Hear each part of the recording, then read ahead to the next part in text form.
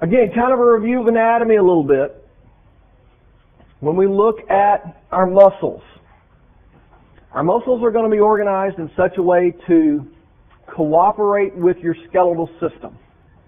Muscles alone really aren't going to be much good.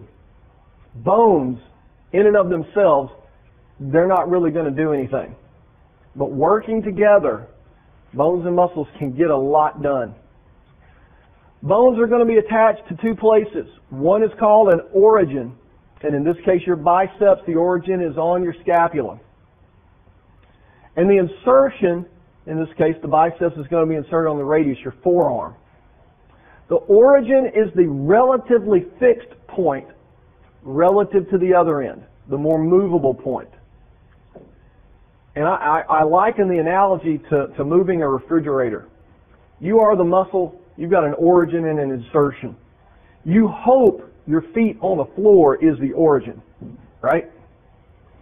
Because have you ever tried to move a refrigerator on a linoleum floor with socks? What's going to move, the refrigerator or you? You're going to move. Your feet are just going to go back. Okay? So in this case, when your biceps contracts, it's pulling in both directions. Well, what's going to move more easily, your forearm or your shoulder? Your forearm. So when your biceps contracts, you get an action. And in this case, the action of the biceps is to flex the forearm. In anatomy, you probably learned a lot of origins and actions and insertions of muscle and how they're attached to the body. The triceps, the antagonistic pair, its action is going to be to extend the forearm because it has different origin and a different insertion. All muscles do is contract. They shorten. It's the attachments to the bones that cause certain movements to occur. I'm going to ask you to look at muscles and their organization in, a little bit of a different way than maybe what, what you look at in anatomy class. Muscles are very high maintenance cells. They're going to require a lot of ATP, a lot of energy. They're going to require a lot of maintenance and repair.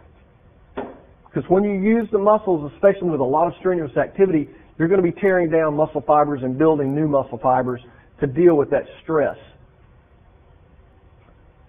Your muscles only have to shorten a certain distance. But the point of attachment between the origin and insertion might be quite extensive.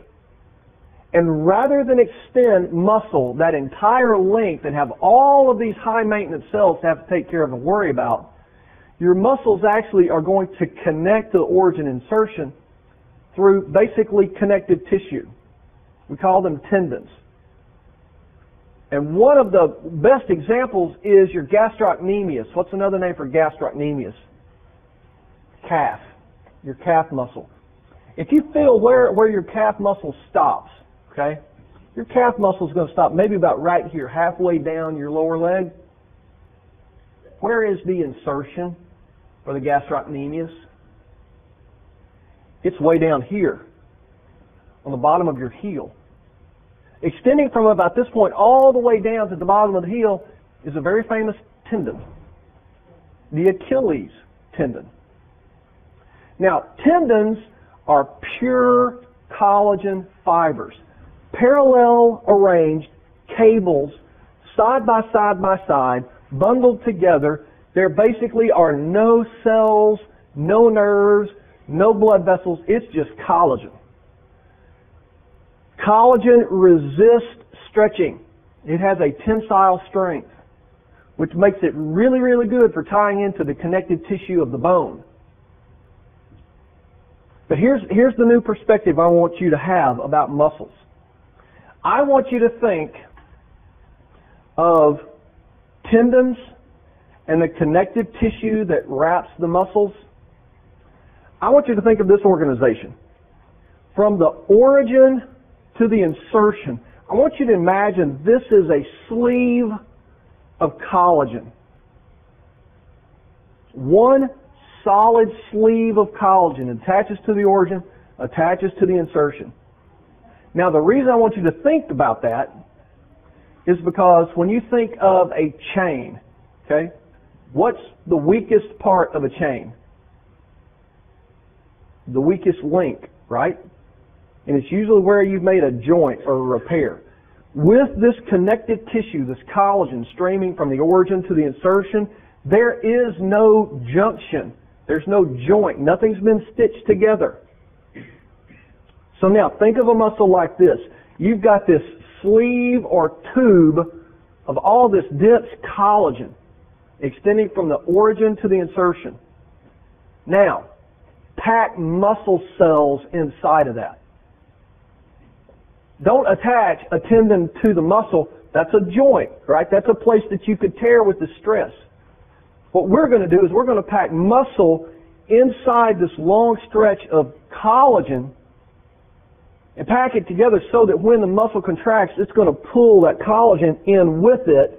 Now you're going to have a nice strong attachment, a contiguous attachment that's got the muscle that's the engine inside the chain. Does that make sense? But here's the thing. It's not that the muscle is big one, one big wad sitting inside this sheet of collagen. The muscle is interspersed between a lot of these collagen fibers and it organizes it into three levels. Now the collagen surrounding the muscle is still going to extend down past where the muscle stops as a tendon. It's going to extend up past where the muscle stops as a tendon. But I want you to appreciate that this collagen is streaming down through where we have the muscle cells, and the muscle cells are just interspersed with all the collagen. It's the collagen that makes it tough. The muscles just shorten it. All right, so that's what we're seeing here. Here's the tendon. The muscle has stopped. But this collagen, this tendinous material is going to extend up. And do you see how some of this material wraps around the whole muscle? Some of this material wraps around and bundles some of these cells into little groups. And some of this is going to wrap around each individual muscle cell.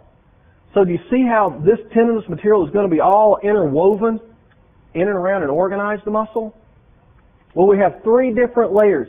The epimysium. Epi means surface or on top. Mysium is muscle. This is going to wrap the whole muscle. It's the outer covering. Some of that tissue is going to wrap these bundles of muscle cells into groups that we call fascicles. And that connective tissue that wraps the cells into fascicles is called the perimysium, or around the muscle. This is on the surface of the muscle. This is around the muscle, and particularly around the fascicles of muscle.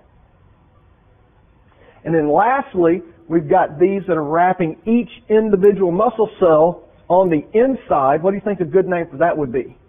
Inside. Endomysium wraps each muscle cell. And each muscle cell, another name for a muscle cell is muscle fiber. Because skeletal muscle are these nice long cables of cells. So that's how muscles and pulling on tendons and attaching to bones, that's how they can be so secure. You've got to do a lot of damage, have a lot of stress before you're really going to tear a ligament or a tendon. But we know as stupid people we can do that. Because we do a lot of crazy things. We get paid to do a lot of crazy things, right? NFL players, they're popping their ACL anterior cruciate ligament all the time. Because you get a 500 pound defensive end jumping on your back, yeah, something's going to go. All right, so entire muscles, whole muscles, we can refer to as an organ. And they're going to be comprised not just of the connective tissue, but those muscle cells or muscle fibers that are wrapped by all that connective tissue. The epi, the peri, and the endomysium. This again is just another look showing that you've got this outer wrapping, you've got the fascicles, and then you've got that individual muscle cell on the inside that's being wrapped by the endomysium. Now, we already looked at how a nerve signals a muscle. And how that muscle can repropagate the action potential and send it all down the length of that muscle cell. And so when we look at muscles that have different sizes, that need to contract in different ways, how do we control that? Well, the control of muscle contraction is really because of these structures called a motor unit and how many different fibers actually attach and activate how many number of muscle cells. And so a motor unit is one motor neuron and all of the muscle fibers it actually connects with. You remember under that terminal button we had all those branches? The arbor vitae? Well, those branches don't necessarily just have to go to one muscle cell. They can go and attach to different muscle cells. Axons can have collateral branches. So when we look at how many neurons go to the muscle and how many muscle cells those innervate, that is our motor unit. And remember, if that neuron fires, all of the muscle fibers it's attached to, they're going to fire too. So again, it's that all or none rule, much like we saw in the action potential. So here we have a, a motor neuron, and you can see that this is attaching to one, two, and three muscle cells in this region. Here you can see this motor neuron, it's, it's got a lot more attachments than just three. Here's another motor neuron that's coming and attaching there. So, let's look at this. If you have muscles that have to do kind of large scale gross work, meaning supporting weight, it doesn't take a lot of fidelity to do that. All those muscle cells have to work together to do the one thing. Like your thigh muscles. They're, they're going to work for walking and running, but they're largely all going to fire at the same time. So you don't need a lot of control. You got one foreman that's telling a thousand workers what to do.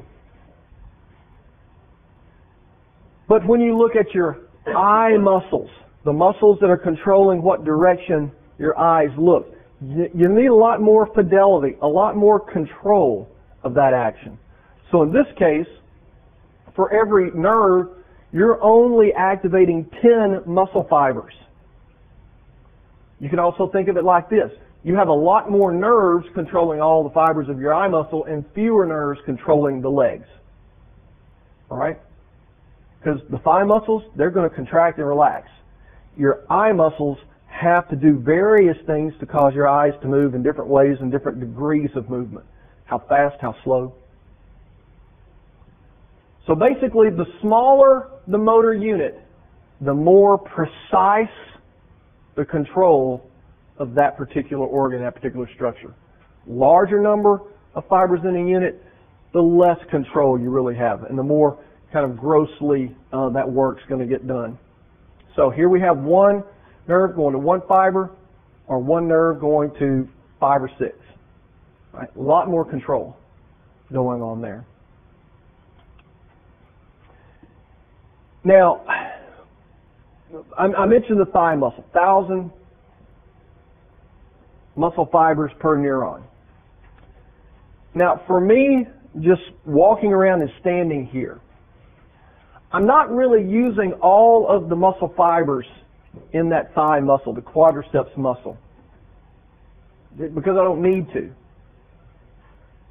But if I went into the wellness center or if I went into um, the rec center and I got on a squat rack and I put, you know, 200 pounds on that squat rack. Well, as I carried the burden of that extra weight, and I went down and started to try to lift that weight. Initially, a small number of motor units are going to be activated. They're going to say, oh, we got a little bit more than we're used to carrying around here, so let's get more help. So they're going to recruit more motor fibers to start contracting to see if we can lift the weight. If you get to the point in doing squats or some kind of exercise like that, where you have got the weight on your shoulders and the weight starts to go up and you get to a point that you can't go any higher, you know what I'm talking about? And you're yelling at your friends, get it, get it, because you're about to die. You have recruited all your motor fibers and you, you can't recruit anymore. So you are going to recruit and activate the smallest number first. And then you're going to activate more and you're going to activate more until you have either accomplished the task or your muscles have failed because you ran out of fibers to recruit. And that's called the Henneman size principle. You recruit the smallest you need first, and then you bring in more as the need arises. Or as the burden in this case is bigger. Now, since there are so many muscle fibers working together, you can think of it in a couple of different ways. You can think of muscles working like, um, you know, the big Roman ships that they had with all the guys doing the oars, you know, and the guy beating the drum, you know, and they're all rowing together. You might think of muscles as all rowing together. That's not really the case. I want you to think of muscles like a tug of war. Have you ever done tug of war? Maybe when you were a little kid. You got a certain number of people and they're all pulling in the same direction. But if you really are going to win at tug of war, you're, you're not just pulling. There's going to be a time where you're either going to have to let go and get a new grip so you can pull further, or you're going to have to move your feet back. Now, if we're like the Romans and our our oarsmen, if our tug of war people, if we all release to get a new grip at the same time, what's going to happen? That rope's gone. So in a good team of tug of war, you're going to alternate who releases and gets a new grip.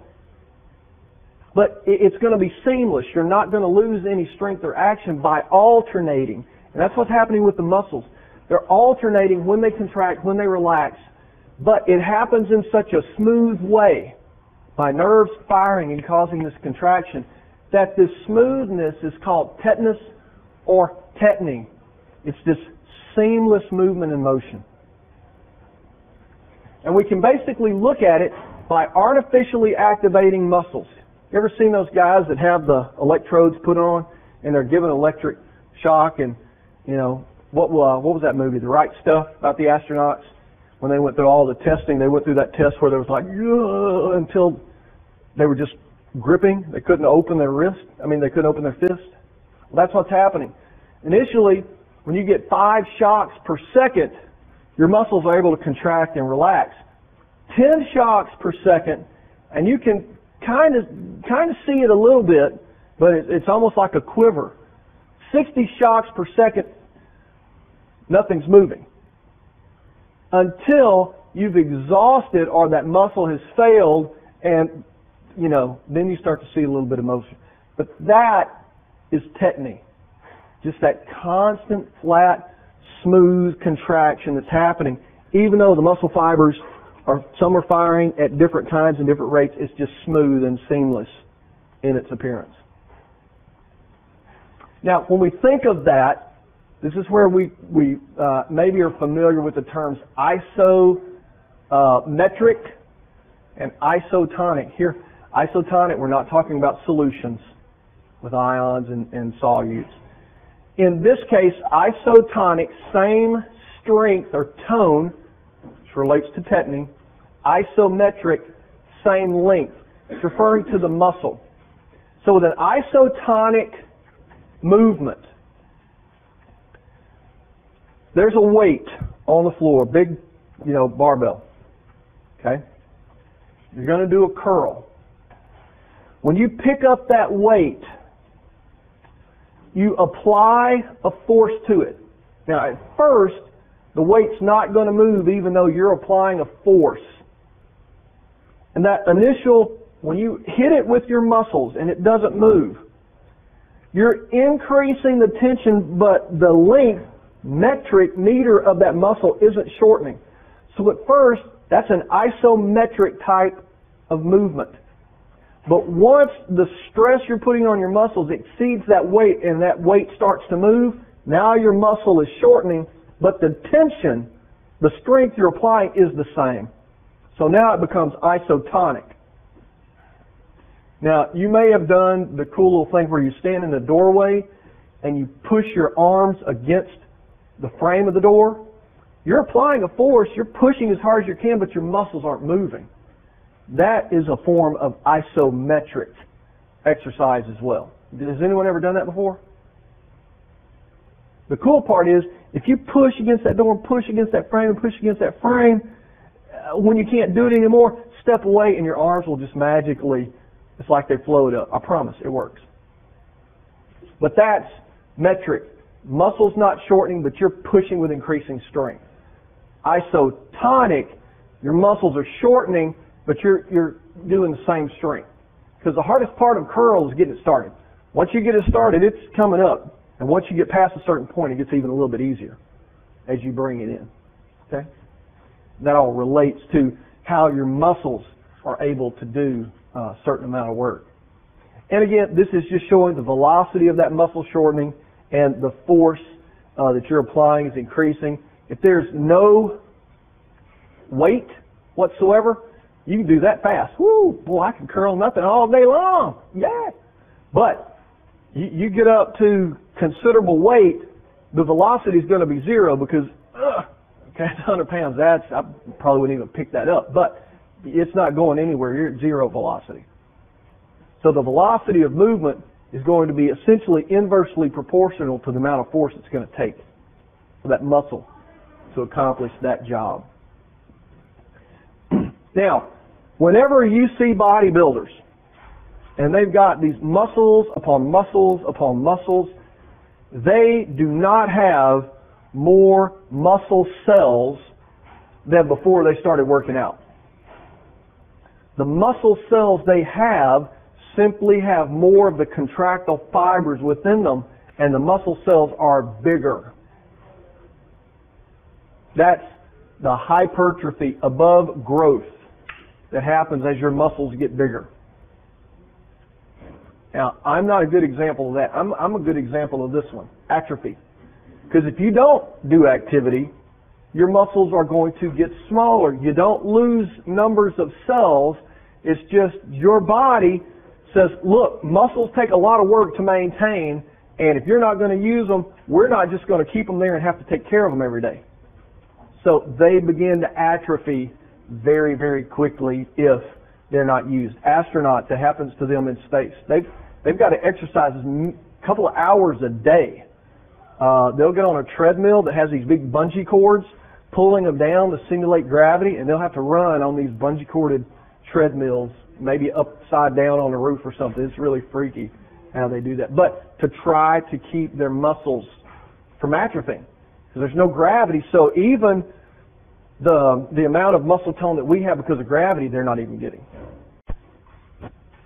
Now, we, we talked a little bit about how, how muscles work, the organization of muscles as organs, how they're involved and they attach to bones and the connective tissue.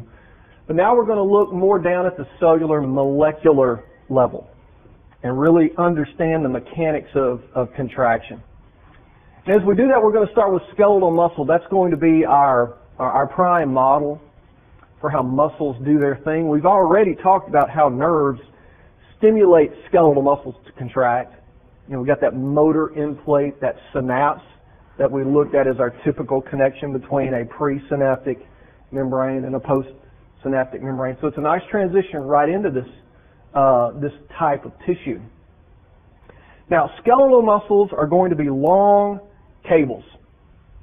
They, they're non-branched, and they basically form during development by a number of muscle precursor cells that fuse together. And so that's why they are multinucleated. Now these long multinucleated cables are absolutely filled to the brim with proteins that are going to slide across one another to cause that muscle to shorten. And those are going to be myofibrils. Now, since these cells are packed with myofibrils, there's really no room for the nuclei. So the nuclei get squeezed out to the periphery. So these long cables filled with myofibrils have squeezed all of these multiple nuclei to the periphery. That is your typical appearance of skeletal muscle. Now, the other very important identifying characteristic of skeletal muscle is this striped pattern. Now, it's not easy enough for scientists just to say this is striped. They have to invent a big fancy word for striped, and that's why you see striated. And the striated pattern, this alternating pattern of light and dark bands, is going to be dependent on the amount of overlap of the two proteins that we're going to talk about that make up the myofibrils. Myosin and actin. Those are our two engines. They're going to drive muscle contraction. And that repeated and synchronous overlap is going to give us this banding pattern. Now we see at this light level look, we see light and dark bands. We're going to define those down into a couple of more subdivisions other than just light and dark to get really at the organization of skeletal muscle. So this is kind of what we saw on this previous slide. Okay, if you can look at this striped pattern, we've got this dark band, a light band, dark band, light band, dark band. But you can see how that dark band can be divided up into additional regions. Some are a little bit lighter and some are a little bit darker than others. And again, here you can see how these myofibrils are going to overlap to basically give us these alternating patterns. Now when we look at this alternating pattern of light, dark, light, dark, light, dark, we define a functional unit of the muscle. And we're going to start in the center of this light band. And we're going to go from the center of this light band to the center of this light band. And that distance, that unit, is going to comprise that functional repeating unit that we're going to use, and we call it a sarcomere. Sarco means muscle. What's another prefix that means muscle? Myo. Myo, sarco are two prefixes that mean muscle. How many people have had comparative anatomy? Okay, you know the, the repeating segments of lamprey muscle and shark muscle, what do we call those? Myo, myomeres. So again, we've got those same segments, except we don't call them myomeres, sarcomeres. One is more of a gross anatomical, whole muscle. This is a microscopic level myofibril. That's why we use two different terms. So a sarcomere is going to exist from this region, and you can already see we've labeled this a Z line to a Z line, and we'll define what that is in a moment. But that's the sarcomere. The sarcomere is going to contain both of these myofibrils, actin and myosin. And go ahead and get used to associating thick, that term with myosin, and thin with actin. It's going to help you as we go through the molecular organization of, of each of these to have those terminologies already in your mind. Now, this is a transmission electron micrograph looking at the myofibrils of muscle. And here we can see the dark band, and here we can see the light band, but you see additional patterns. So in the center of this light band, we see this line, and that is our Z line. And over here we see the next light band with its Z line. And then here's our dark band. And we're going to define two other regions within that dark band as we look at what comprises a sarcomere. But this little diagram down at the bottom, this is an illustration of what happens to these myofibrils during a muscle contraction. Now, this is going to be from this point to this point is a sarcomere. There's another sarcomere. There's another sarcomere. And the way they're all arranged in this series, I think you can imagine when one sarcomere slides their myofibrils together, when they're attached to the other sarcomere, and again and again and again, these small microscopic contractions are going to be greatly expanded so that you're shortening the whole muscle by centimeters, whereas each sarcomere is shortening only just a couple of angstrom. But it adds up because you have so many of these together. So let's look at the bands. The dark bands of the sarcomere are called the A bands for anisotropic. Isotropic, I guess iso being the same, tropic meaning, in this case, light. Basically, isotropic bands are going to let light pass through fairly easily. And that's what we're going to call the light band that we're going to see in a few minutes. Anytime you put the prefix of a or an in front of a word, what are you going to do to that word? It means not. So if isotropic means light can pass through, and isotropic is going to be what? Light doesn't pass through, and it gives it the dark appearance. And what is preventing the light from getting through is the fact that in this band you have both the actin and the myosin where they're overlapped, which is going to prevent any light from getting through as much. So it gives it a darker appearance. Now, in the center of that dark band, okay, here's our A band, the anisotropic band. It extends from here to this point. When you look at the center, you can see there's a little bit of a lighter region right in here as opposed to the periphery. And this is going to be the H band. You can look down here. So the H band is only going to consist of myosin. Actin is not overlapping the H band at this point. So it's a little bit lighter, but it's still pretty dark. Because myosin is the thickest of the filaments. Now, in the very center of the H band, we have a little bit darker line that goes right down the middle. And that darker line is called the M line or the M band because in addition to myosin, it has some structural molecules such as myomesin is one of them. And since again you have more stuff, it's going to be a little bit darker than the surrounding area of the H band. Okay? So we've got the big A band, dark, actin and myosin. In the center of the A band, we have this lighter zone, which is the H. It's only myosin. But then the very middle of the H, which is also the middle of the A band, it's a little bit darker line because you've got extra structural molecules, myomesin being one of them, in addition to myosin. Okay, that's the A band. The I band, isotropic, light can pass through, get that lighter color. And you might predict it already, the reason more light can get through is you only have actin.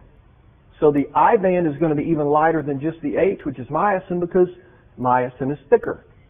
That's why I want you to use those myosin thick, actin thin. Go ahead and always associate those two together. We've already seen in the center of the I band we have this dark Z line. And again, it's dark because we have a lot of structural molecules that are going to anchor actin into this one point you can almost think of the Z line as being the origin of the muscle. It's not really going to move. You're going to have this relative shortening, but where the shortening is taking place is more here in the H band and the M line. And we'll see how that shortening is actually occurring. Again, a transmission electron micrograph, we've got the I band, Z line, A band from point to point, H band, and then the M line right down the middle. Now what they tried to illustrate is if you look at this, in, this picture, you've got these myofibrils running in this direction, and you're looking at them from the side. So that's why you see this long appearance. But if you were to take these long fibers, like, you know, the spaghetti that you have in a package, instead of looking at the spaghetti from the sideways, if you turn it at the end, all you would see were all these little dots. just the cut ends of the spaghetti. So if we make a cut through the Z line and just looked at the ends, we're just going to see these little skinny dots. And here in the H band, if we make a cut right through here, we're going to see these thicker dots. Now, just from what we know so far, even if we haven't talked about who's what and where, if you just know actin thin, myosin thick, what are these dots compared to this? These are actin, thin. You can see how skinny they are. These are myosin, they're much thicker. Now, when we get out to this part of the A band, now this is where you can see the overlap. And do you see how regularly arranged the actin surrounding the myosin, you see how regularly arranged they are? There are a lot of structural proteins that are helping hold them and register as they slide across each other. So largely looking at real high powered microscopes like this has enabled us to define which molecules are in which place relative to this repeating uh, pattern in skeletal muscle.